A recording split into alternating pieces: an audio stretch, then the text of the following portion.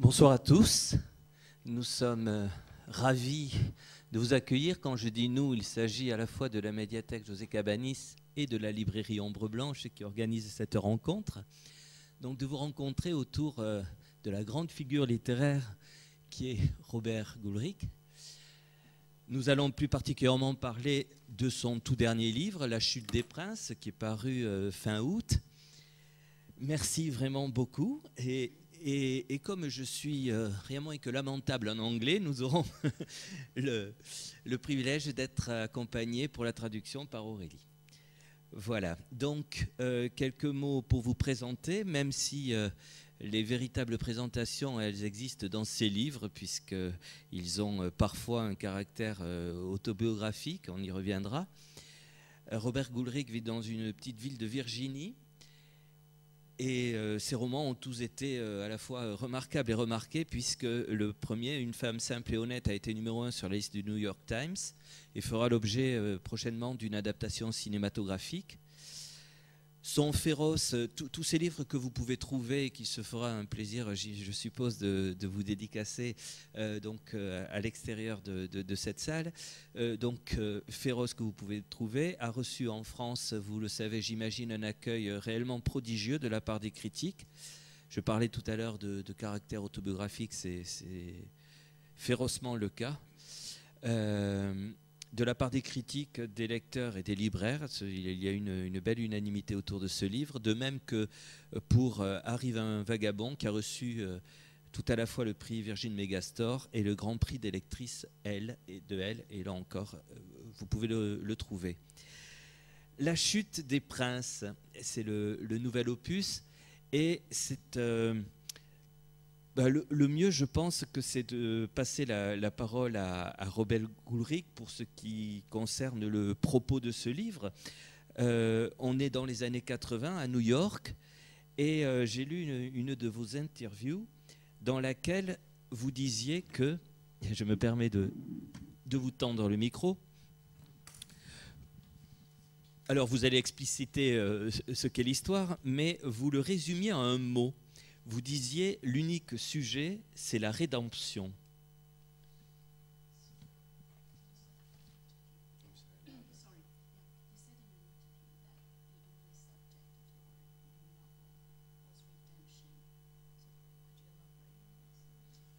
Um, yes, I think um, I think I always write about redemption, and uh, in order to write about redemption, you have to start with people who are bad or flawed or uh, in some way damaged, um, or you can't save them. Um, Donc, euh, il, il dit qu'en effet, euh, son sujet principal est toujours la, la rédemption, qu'il se plaît à mettre en scène des personnages qui sont euh, plein de failles, qui sont, qui sont mauvais, qui ne peuvent en apparence pas être sauvés.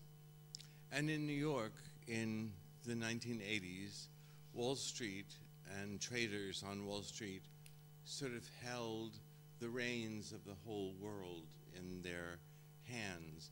They made ridiculous amounts of money at a young age, and they spent it entirely on uh, pleasures and um, trips and alcohol and sex and drugs and cars and clothes. And they were people who were not good people. Um, he says in the beginning that he's ashamed of who he was.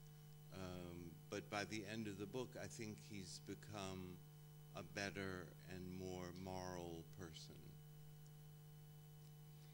Um, Donc le thème principal étant les traders des années 80, dans le New York des années 80. Robert Gouric dit que c'était eux qui tenaient les rênes du monde en quelque sorte, puisqu'ils se, ils se faisaient euh, de l'argent à foison, euh, qu'ils dépensaient euh, dans des plaisirs divers et variés, que ce soit des voyages, l'alcool, le sexe, les vêtements, la drogue, voilà, tout ce qu'on peut imaginer. Et qu'on peut retrouver dans le livre du reste. Exactement. Et donc ce sont euh, viscéralement des mauvaises personnes. Et d'ailleurs, le protagoniste ouvre le roman en disant qu'il était vraiment euh, quelqu'un de mauvais. Mais euh, on peut espérer qu'à la fin du roman, il soit devenu euh, quelqu'un de meilleur. In the 1980s, I worked in advertising in New York, which was sort of the second level. Um, we were also young, we were also paid too much money, we also had too much fun, too fast, too soon. Um, but when I started the novel, I thought that the real symbol of the 80s in New York was a trader on Wall Street. Donc Robert Goulric, comme il vient de le dire, était lui-même dans le monde de la publicité euh, dans les années 80, ce qui est peut-être le niveau juste en dessous que le monde de- du monde de la finance. Lui-même se faisait aussi beaucoup d'argent, s'amusait beaucoup, c'était beaucoup de choses sans doute euh, trop rapidement. Et selon lui, le véritable symbole de cette euh, débauche des années 80, c'est vraiment le trader new-yorkais. Qu'est-ce que vous avez trouvé pour euh, justement euh, être racheté pour cette rédemption? Est-ce qu'il ne s'agirait pas tout simplement de la littérature?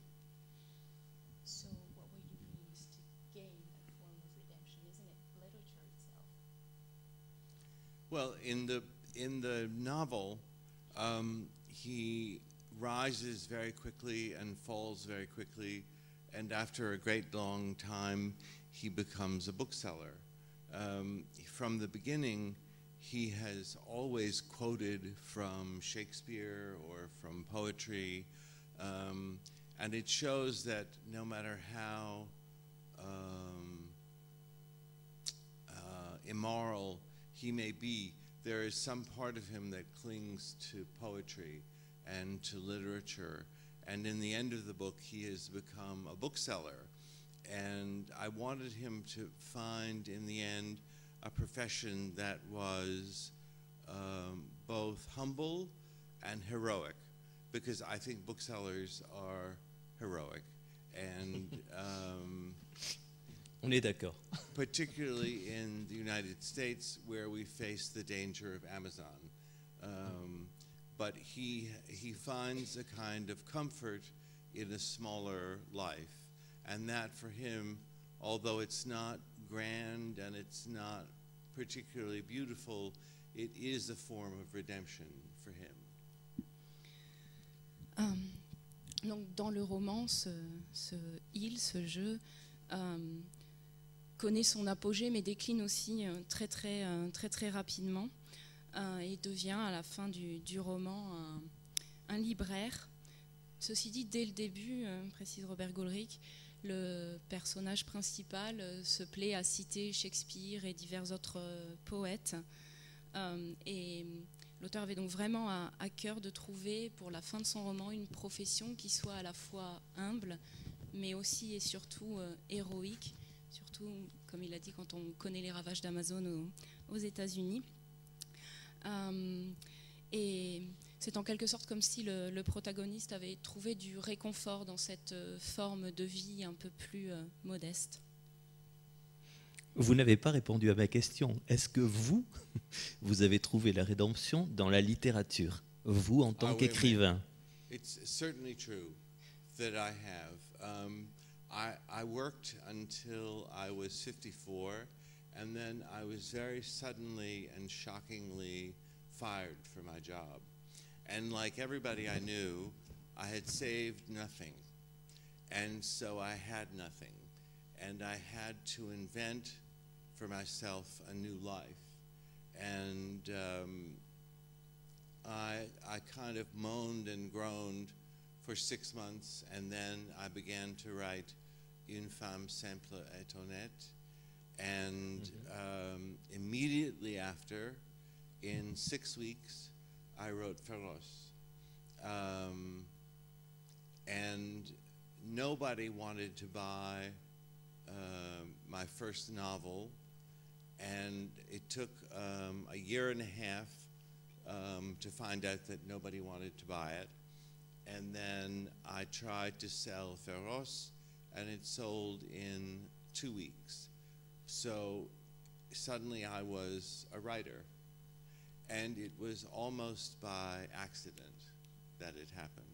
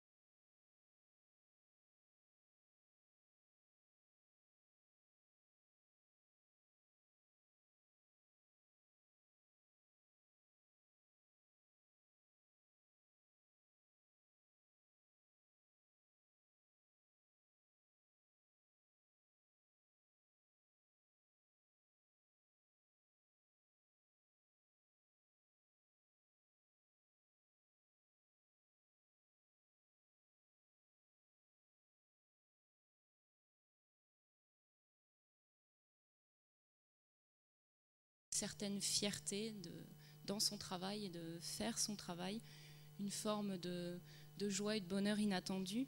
Parce que ce qu'il trouve euh, formidable avec la littérature, c'est qu'il y a un véritable amour du processus plus que de l'objet final en, en lui-même, alors que auparavant c'était plutôt la démarche euh, inverse. Le processus n'avait que peu d'importance et ce qui comptait euh, dans la publicité, c'était l'objet fini. On va revenir bien évidemment à l'histoire de la chute des princes, mais il y a quand même une question qui me brûle les lèvres d'ordre général concernant la littérature. Euh, il y a peu, euh, le dénommé Philippe Roth, qu'Aurélie Aurélie prononcerait le nom beaucoup mieux que moi, euh, a dit qu'il arrêtait d'écrire parce qu'il n'y avait plus de lecteurs et partant plus de, plus de littérature. C'est un un tableau aussi noir que vous pourriez décrire sur la littérature en, Amérique et dans le monde en général? Est-ce que, est que l'ère de la littérature est, partie? Est-ce qu'on fait partie des, des derniers dinosaures? Et, et fini pardon.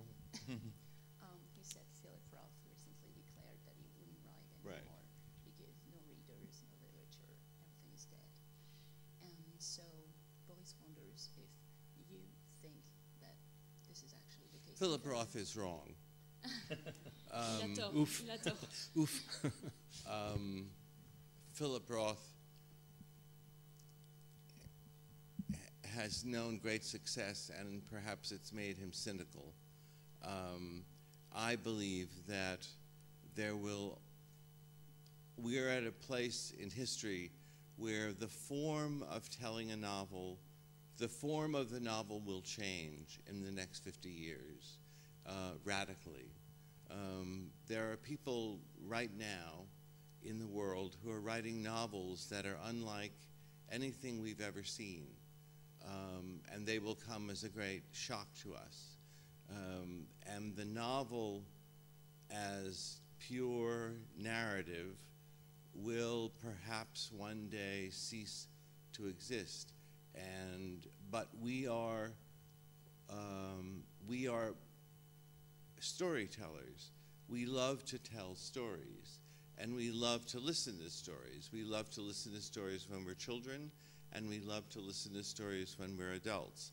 And I don't think that will change. I think there will always be stories, and there will always be readers for the stories. Um, donc Robert Gouric dit que Philippe Roth est un écrivain à, succès et que ça l'a peut-être rendu euh, un peu trop cynique. Euh, maintenant, ce qui est sûr d'après lui, c'est que le roman en tant que forme littéraire va subir de profonds, de profonds changements.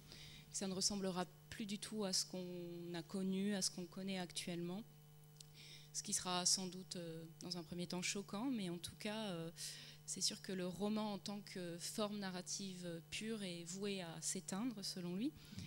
Et il dit, mais de toute façon, le roman ne peut pas mourir puisque tous, autant qu'on est, on aime les histoires, on aime les entendre, qu'on soit enfant ou adulte, on a toujours aimé raconter des histoires, donc il euh, n'y a pas de raison.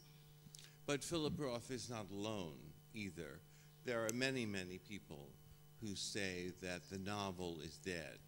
Um, it's become one of those kind of laughable catchphrases in America.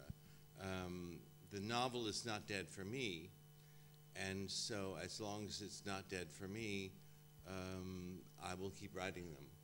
And um, I assume that there will be readers to read them. I hope. Euh, donc il dit que Philippe euh, Roth n'est pas le seul. Il y en a beaucoup dans son cas et que déclarer que le, roman est mort, c'est un peu le slogan euh, très tendance aux États-Unis depuis maintenant plusieurs années. Mais pour lui, en tout cas, ce qui est sûr, c'est que le roman n'est absolument pas mort et qu'il va continuer et persévérer et qu'il a grand espoir qu'il y ait toujours et encore des lecteurs pour les, pour les lire. On le souhaite aussi.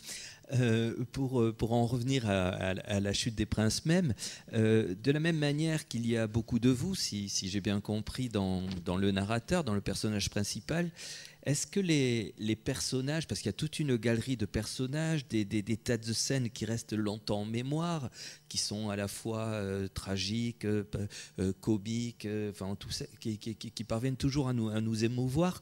Est-ce que ces personnages-là, Diana, euh, euh, un homosexuel qui se suicide, dont j'ai oublié le nom, Carmela, Julia, euh, Fanelli, son ami, etc. Est-ce que ce sont des gens que vous avez croisés, reconstitués à partir de plusieurs autres personnages, ou euh, là, pour le coup, c'était de la fiction pure? Um, he says, and I don't know the title of your novel in English, The but Fall of Princes. okay, So- okay, in the Fall of Princes, um, there are a lot of characters, uh, a lot of uh, really striking scenes, and he wonders if all those characters, Carmela, Diana, Julia, all of them, are there inspired from real people? They're all real people. Um, there's a line in the book where he says um, he's talking about um, Trotweiler, Trotmeyer, and he says um, this story is true. In fact, most of the stories that you hear about the 80s are true. Um, La Chute des Princes is a collage of all of my friends when I was in my 30s. Um, some, most of the scenes in the book actually happened to me or to somebody I knew. Um, and that goes from something as uh, different as when he gets fired and he goes back to shake his boss's hand and his boss slaps him in the face. That's a true story that happened to a friend of mine. Or the summer in East Hampton. Um, it's all true. It's a, it's a, it's a very uh, fragmented autofiction.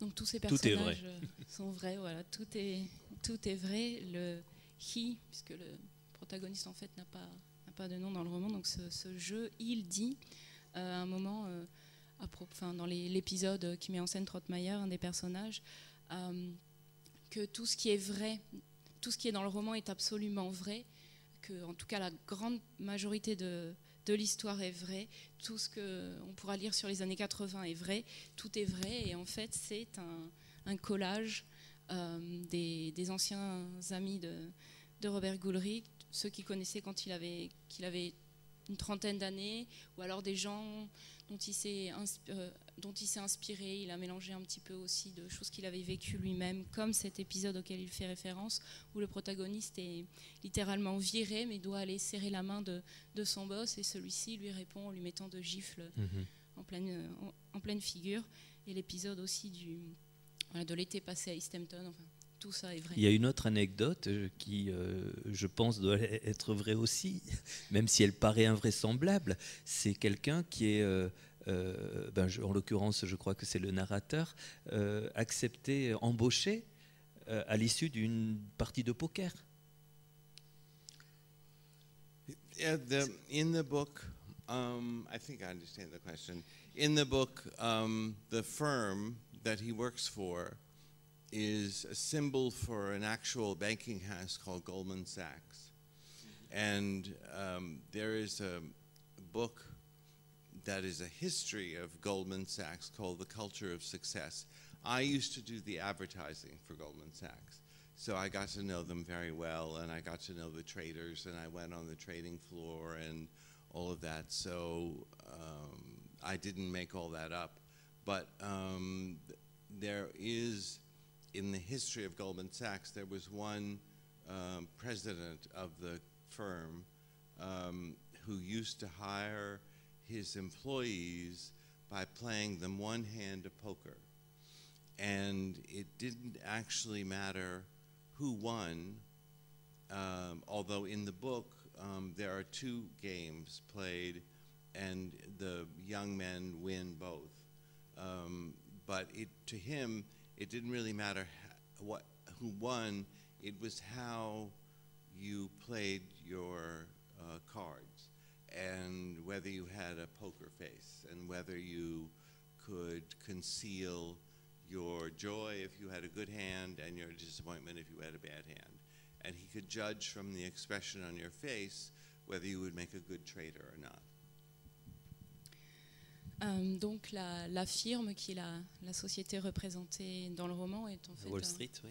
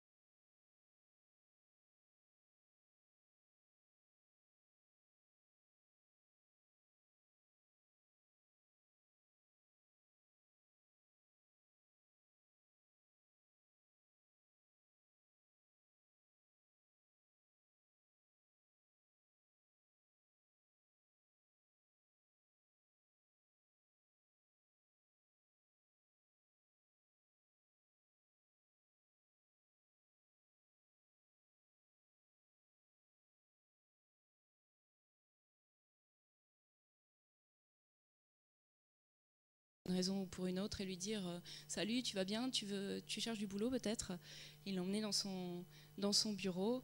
Euh, et à ce moment-là, il lui demandait absolument rien sur son CV, euh, ses, diplômes ou ses envies, même par rapport au travail qu'il avait à lui, lui proposer. Tout ce qu'il y avait, c'était ce président et un jeu de cartes. Comment on en est arrivé là?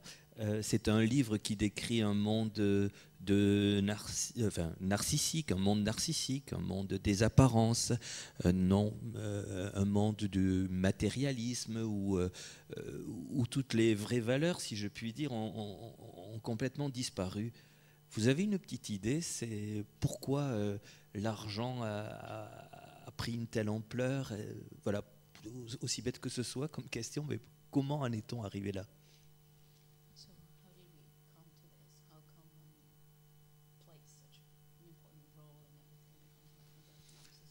Well, I think it's not so true now, but in the 80s, um, money was the, the symbol of the culture. Um, and people began, it was when people in um, the banking business first began making these enormous sums of money. Um, and they would do outlandish things with the money. Um, there was one woman, I know her, um, and in the 80s she was very, very rich. Um, she's actually very, very rich now. Um, and she had um, very high ceilings in her apartment. And she wanted to put a 12 foot, 14 foot Christmas tree in her apartment, and it wouldn't fit in the elevator. So she, she hired a crane to come and remove the windows from her apartment and raise the Christmas tree up and bring it in through the window. And that is just the kind of excessive thing that people did in the 80s to show off how rich they were. Donc selon Robert Goruck, c'est plus si vrai que, finalement l'argent est, au centre de tout, mais en tout cas c'était clairement le cas dans les années 80, c'était le, le symbole de la culture euh, américaine par excellence. Les gens se faisaient des salaires euh, absolument inimaginables et faisaient des choses tout aussi incroyables pour euh, montrer à quel point ils étaient riches. Et notamment une, de ses amies, euh, et il en parle aussi dans le, dans le roman, qui euh, avait euh, un appartement euh, avec des plafonds extrêmement hauts et son rêve c'était d'avoir des, des arbres de Noël de 5 mètres euh, de haut, sauf que c'était impossible de les faire rentrer dans l'appartement. Donc elle a tout simplement euh, loué une grue et demandé à ce qu'on découpe ses fenêtres pour pouvoir y faire passer les, les sapins de Noël. Et c'est voilà le genre de choses qu'on pouvait faire. et l'on trouvait ça normal? Yes, that was the kind of thing people did. And um, actually, she, she became, everybody in New York kind of laughed at her because it was so excessive that it seemed ridiculous even to us. But it was an example of the power of the, of the kind of money that people were willing to spend to create an effect of extreme riches. Euh, alors en fait, euh, quand même la plupart des gens qui la connaissaient à, New York, euh, ça les faisait quand même beaucoup, beaucoup rire, ce, genre, genre d'excès. Mais bon, voilà le, le genre de choses qu'on faisait pour montrer à quel point on était riche et à quel point on pouvait avoir des comportements extrêmes juste pour se faire remarquer. Mais dites-moi, vous-même avez été, comme le, le narrateur, avez été licencié. Est-ce que euh, sans cela, vous seriez toujours resté dans ces valeurs? Comment, vous, comment seriez-vous sorti?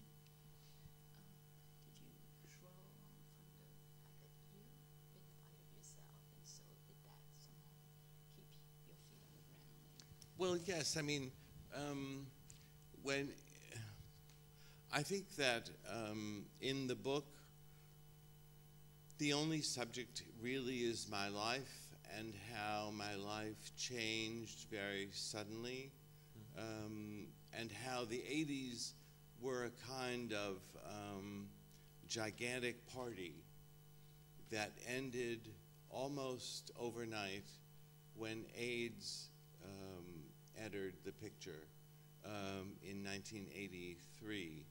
Um, and people who had lived a life of sexual freedom and complete um, disregard for safety um, uh, suddenly found themselves uh, in a vast wasteland where all the discotheques and all the money in the world and all of the um, all of the pleasures that they had known were somehow dangerous, and their friends kept dying uh, every day. And we went to memorial services and funerals um, every week, every two or three days. And it was a very stark reminder that we had uh, played too hard and disregarded our own safety. Um, donc, il dit que le sujet de son livre, c'est avant tout sa, propre vie et tous les changements radicaux euh, qu'il a subis du jour au lendemain. Um, ça reflète aussi les années 80 comme une fête permanente qui s'est quasiment arrêtée du jour au lendemain avec l'arrivée du sida en 1983, euh, où de nombreux, nombre de ses amis euh, mouraient du jour au lendemain, plusieurs par semaine. Euh, et ça a aussi fait prendre conscience à tous ces gens qui vivaient euh, de façon complètement frivole, sans se soucier de, rien, ni même de leur propre euh, sécurité sanitaire, on pourrait dire, se sont retrouvés dans un espèce de paradis perdu, où finalement ils ont commencé à se rendre compte que tous ces plaisirs qui leur étaient facilement accessibles étaient aussi extrêmement dangereux. Et c'était un peu le, un rappel euh, très fort et un rappel euh, quotidien qu'ils avaient sans doute euh, trop joué avec le feu. And many of my friends um, have never recovered. Um, they can't get over the fact now they're in their 50s and they can't get over the fact that the best and brightest and most um, uh, fun part of their lives um, was 30 years ago, and that that time can never be recovered. Et euh, il dit que ses amis ne s'en sont d'ailleurs euh, jamais remis. Maintenant, ils ont plus de 50 ans et euh, ils n'arrivent toujours pas à se rendre compte que finalement, le moment le plus fou, le moment le plus marrant, le plus exaltant de leur vie, euh, c'était il y a 30 ans et que c'est terminé maintenant tout ça. And in effect, we lost an entire decade of our lives going to a great, great, great big party, and suddenly in 1983, 1984, the lights were turned off and the party was over. En fait, c'est quasiment une décennie, une décennie perdue, euh, euh, passée dans des fêtes gigantesques et inimaginables, jusqu'à 1983-84, où les lumières se sont éteintes et la fête s'est arrêtée. Pour reprendre un, un terme que vous venez de prononcer, on pourrait penser à la génération perdue. Il a été question euh, de, dans les critiques beaucoup de, de Fitzgerald. Vous vous retrouvez là-dedans?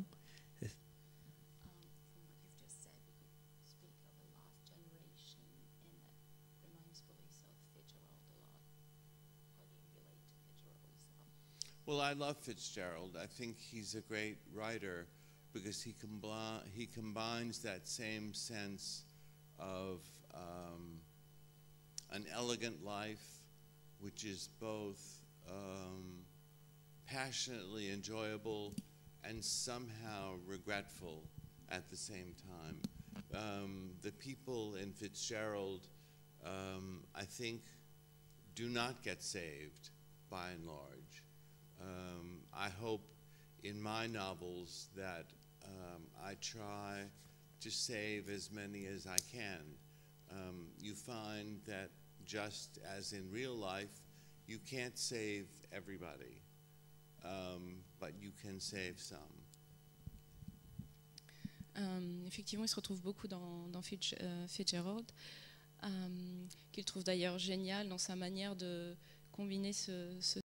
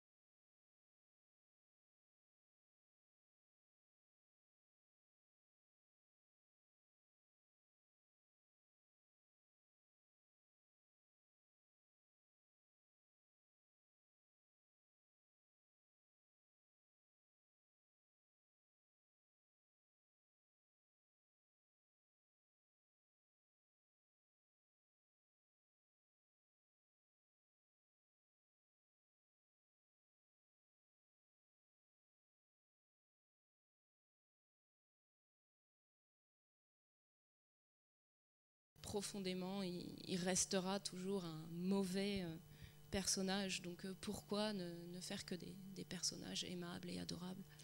Mais c'est justement, alors je rejoins tout à fait ce que, vous nous disiez, euh, ce qui peut surprendre, c'est un petit tour de force, et quand on lit votre livre, c'est que on a affaire à des comportements pour le moins choquants, et, on se prend à éprouver une espèce de compassion, on, on les plaint plus qu'on ne les rejette, ces personnages, et pourtant on aurait toutes les raisons du monde de les rejeter.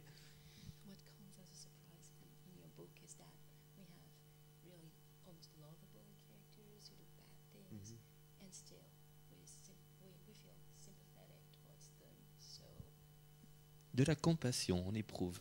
We Ouais. have to feel compassion for the wounded. Um, and these are people who are wounded by their own ego- egotism. Um, and they're wounded by the society that offers them too much too soon. And they are children.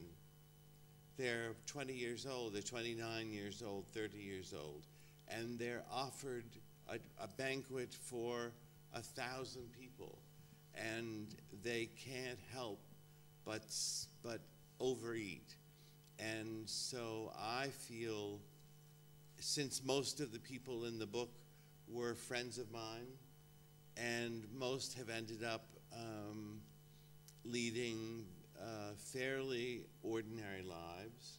Um, I feel great compassion for their fall from the glamour and excitement and dazzle of their youth.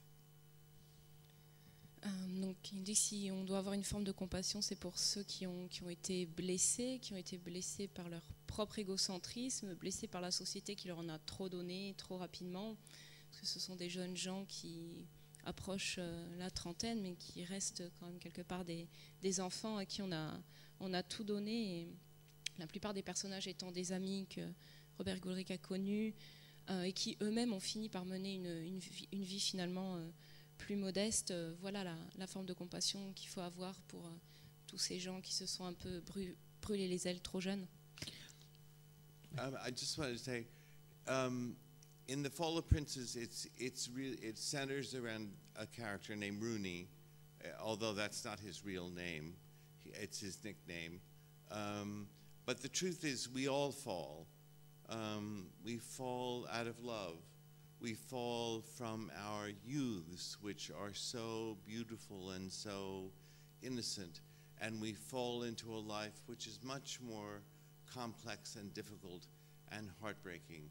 So, for, it's, for instance, in the book, there's Trotmeyer, who has an affair with a rock and roll diva, um, who I will tell you if um, you don't tell anybody was Cher, and um, and Trotmeyer at the very at the at the end of the book is reflecting back on this affair that he had with Cher that was disastrous in his life.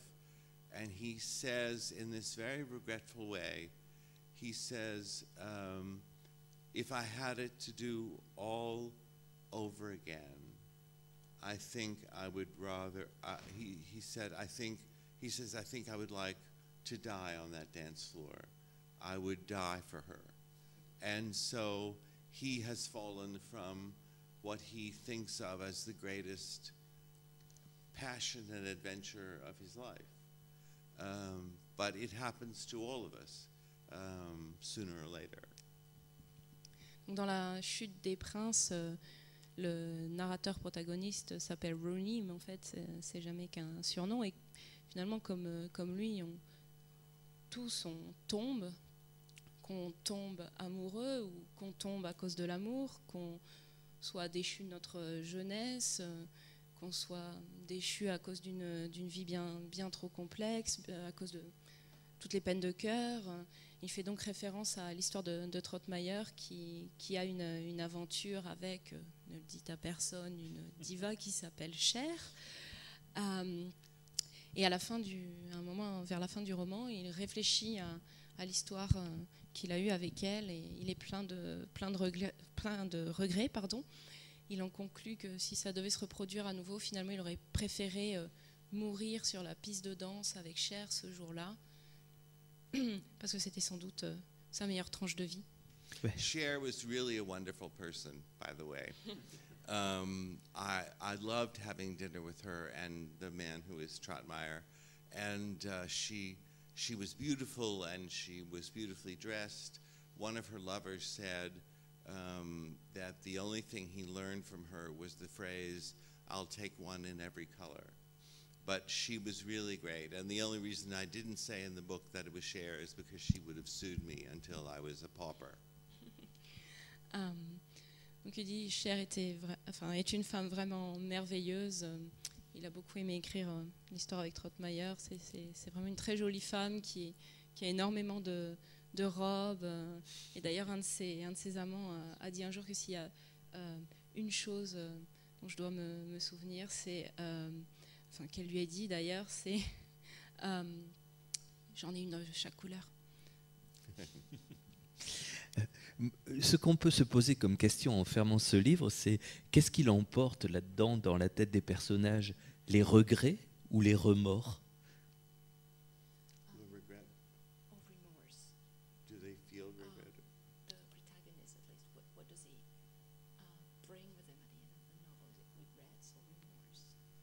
I think he lives with regret. Um, there is a chapter called Belated. I don't know what it's called in French. Stefan? It's the one where he imagines the phone call from his son, his birthday cake. Um, and he regrets that because he was so self involved and involved in this eternal circus of pleasure, that he never had a child. In his case, he imagines having a son, um, and he imagines um, that it's his birthday. And because he has so few friends, he buys himself a birthday cake, and he has it decorated, and it says "Happy Birthday to Rooney" on it.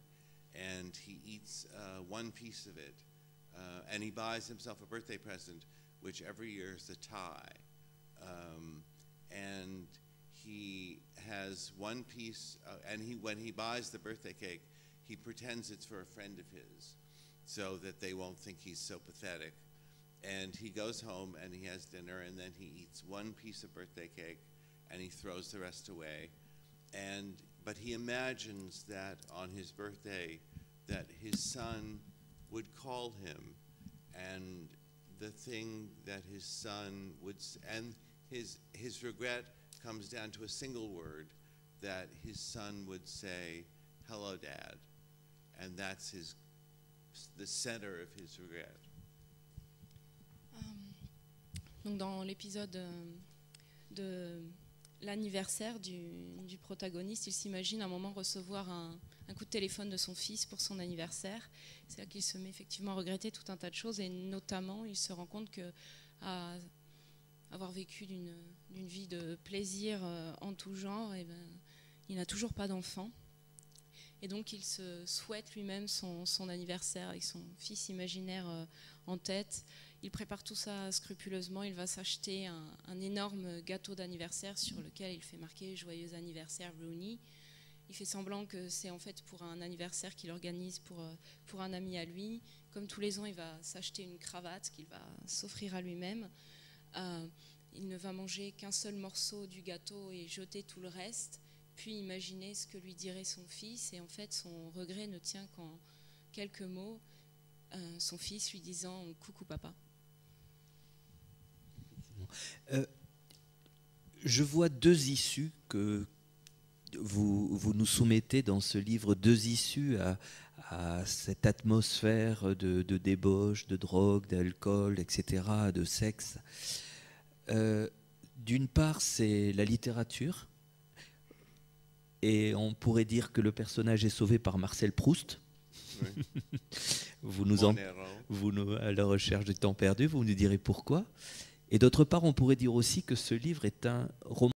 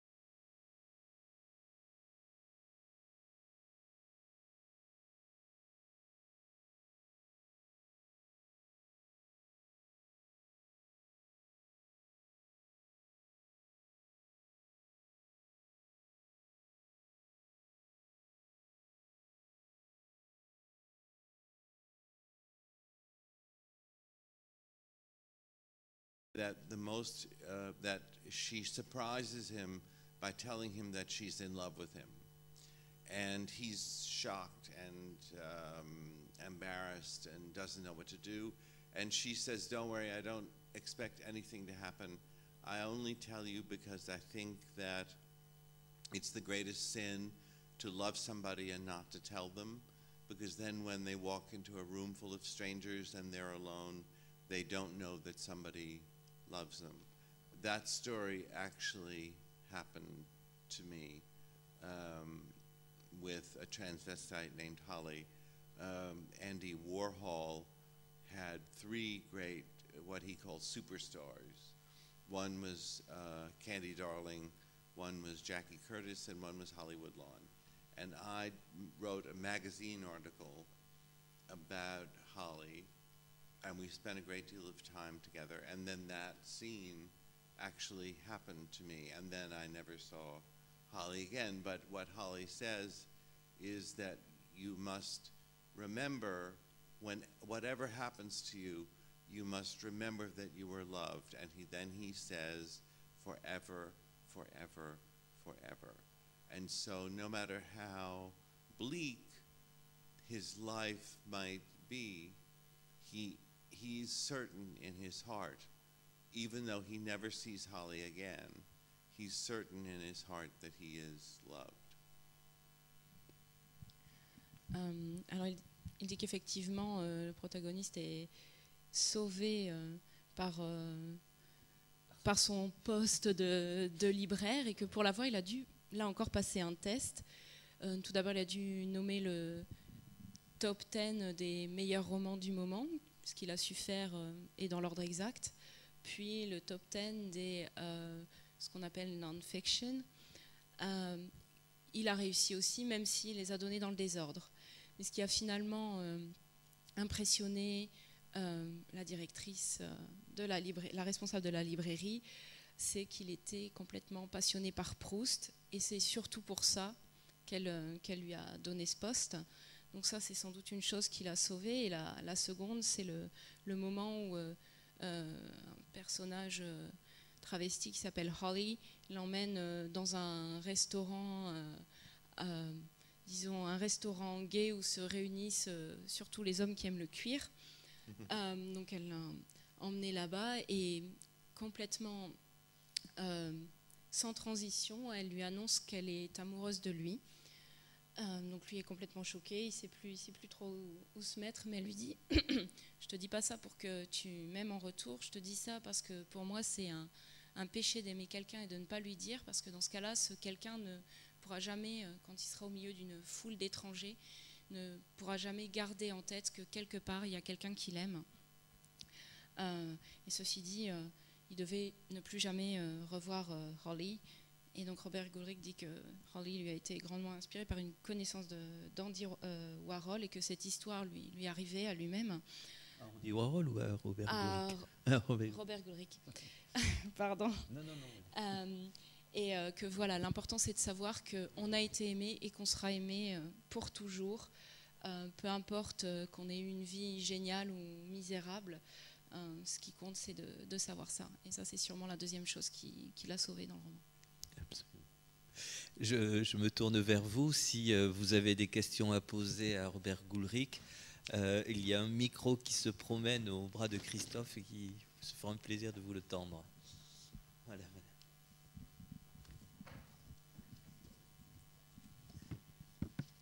Je suis très heureuse d'être là parce que j'ai lu euh, tous vos livres et j'aurais voulu savoir si c'était pas difficile pour vous d'écrire des, des livres autobiographiques euh, parce qu'une femme simple et honnête et arrive un vagabond, il y a peut-être des éléments autobiographiques, mais c'est des, histoires euh, romancées quand même. Et je me demandais si vous aviez besoin de ce rythme-là, écrire euh, une histoire comme une femme simple et honnête, passer à féroce. Parce que j'ai lu que vous deviez, vous écriviez un prochain livre qui se déroulerait durant la guerre. Je ne sais pas si c'est la première ou la deuxième. À l'aube de la Seconde Guerre mondiale. Voilà. Donc, euh, est-ce que c'est nécessaire pour vous d'avoir ce rythme entre euh, de, de différents écrits, un histoire romancée, un autre autobiographique, et on continue comme ça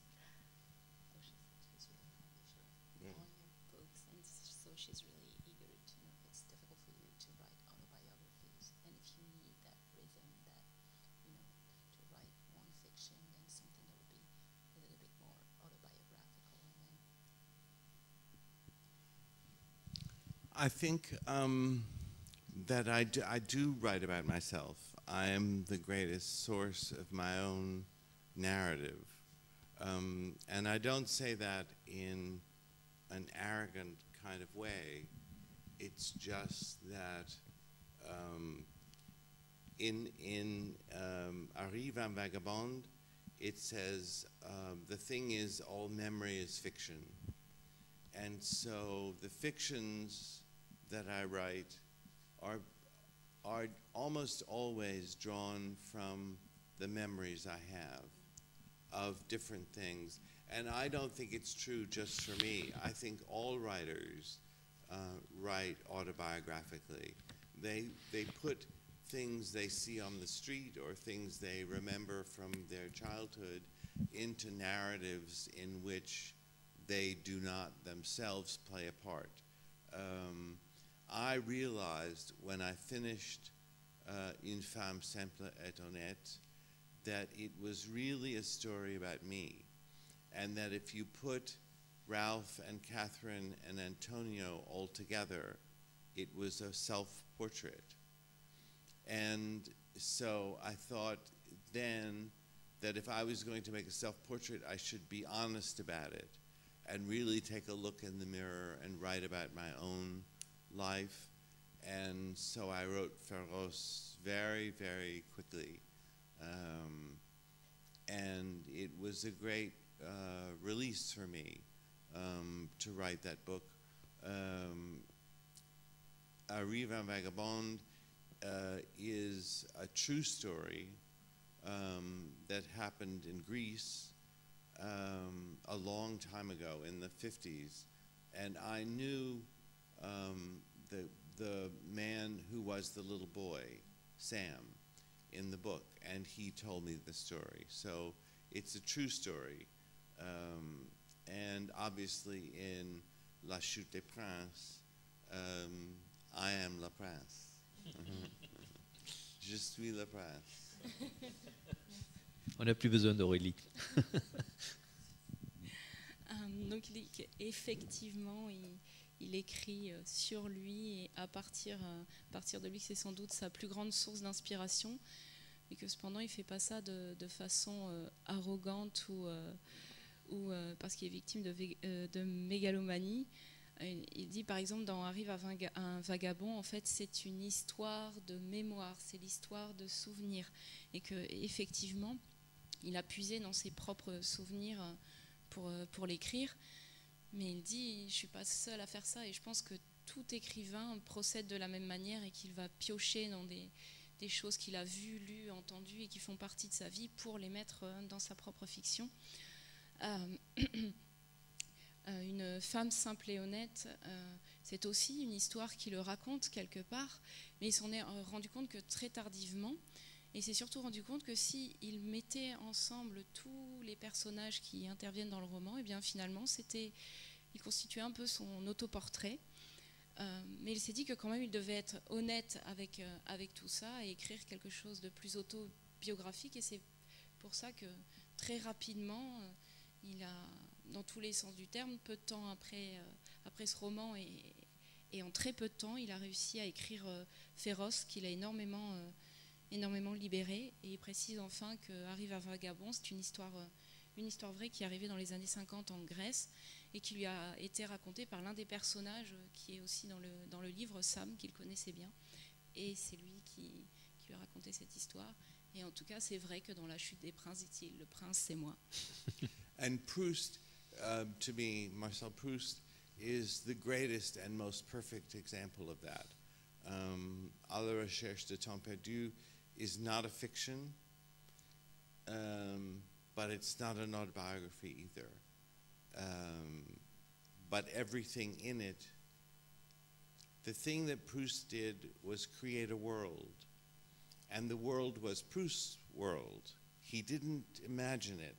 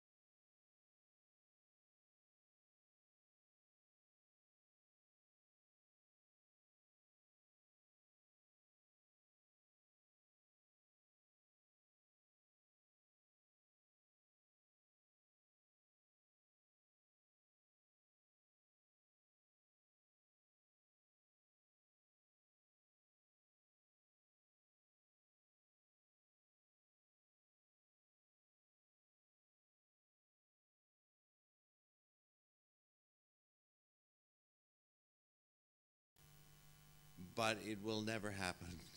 and um, and so I have to say that I think the translations of Proust. Uh, it's not my opinion, but everybody's opinion. Proust has been brilliantly translated. Um, my translation is the Moncrief translation. Um, there's a, a, a new one, um, but um, I think Proust was brilliantly translated, and and I think that uh, I didn't um, greatly miss the point. I didn't miss the point of Proust just because I read it in English. Euh, donc il dit que sa traductrice est absolument géniale, euh, que avec elle, avec euh, Steven et lui-même, ils s'entretiennent longuement, ils discutent de, de l'avancée des, des traductions et ça se passe toujours très très bien. Il dit aussi qu'il euh, il a des amis qui lisent euh, l'anglais et le français assez facilement et qui lui disent souvent tes livres sont quand même meilleurs en français. Euh, et quant à lire euh, Proust en français, c'est quelque chose qu'il adorait faire, mais il sait bien que malheureusement ça n'arrivera jamais. Et il doit dire que c'est pas seulement son opinion, mais elle est vraiment généralement partagée dans le monde euh, anglophone. Les traductions de Proust sont vraiment très très bonnes. Et il pense qu'il ne passe pas à côté de son écriture, du coup, du, fait de la, du seul fait de la lire euh, en anglais et pas en français. Je me tourne encore. Oui, madame. Uh, I am very happy to meet you. Thank I you. try to speak English, but my Okay, English is not you. as good as. Well, uh, you say that uh, A Reliable Wife was a novel about bad people to whom good things happen, and Heading Out to Wonderful is about good people who happen to have bad things happen to them. So we can see redemption, I think, we can see redemption in A Reliable Wife. But what about redemption in heading out to wonderful? Although I, I think that uh, wonderful, um, for the reader, the reader would have expected uh, redemption, some kind of redemption for the characters. But I don't think it happens in the book. Strangely enough, Euh, Euh, non, je voulais parler de rédemption dans les deux hum, livres de fiction, finalement, de Robert Goulrick. Et je pensais que dans euh, Une femme honnête, euh, la rédemption, je crois, est quand même assez apparente, alors que dans euh, Heading Out, je me rappelle Heading Out to Wonderful. Wonderful, là, le, le thème de la rédemption ne m'apparaît pas aussi euh, marqué. Well, to me, there is redemption in Heading Out to Wonderful. Um, I think that Charlie's love for Sylvan is tragic and destructive, but it finds in the end a purity which is unbearable. It's, it's, it's so intense and so pure that it's unbearable. And when I was writing the book, even though I knew the true story and how it ended, um, I, I really didn't want it to end in a tragic way. And so I made up this whole complicated ending um, in which they ran away together at the end, and it was, it was a whole thing. Um, but it didn't feel right to me. Um, it felt as though then his love was not pure and was not his his love then became ordinary instead of heroic, mythical.